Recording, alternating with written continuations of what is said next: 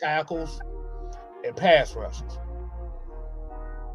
Now, with the quarterback market going up the way it's going, and we kind of getting y'all kind of getting some free goddamn information here, but this is gonna go basically to where I'm talking about.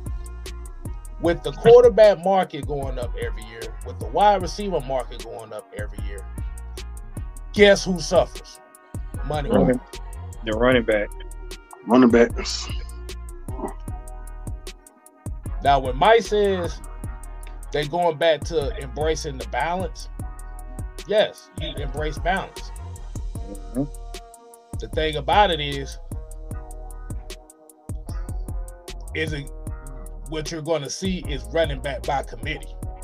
Mm-hmm. That part. Just the balance. It doesn't mean that they don't value running the football. It just means that they not they they're not going to be able to afford to pay running backs the type of money you think they deserve because the quarterbacks is getting all the money.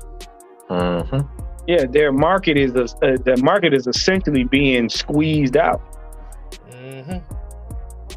That's why it was imperative for the Falcons to, to draft a guy like um, uh, Robinson because they understand it's like if you're going to win in the NFL, if you even go back to the Chiefs, the Chiefs see the Chiefs have a two running back system.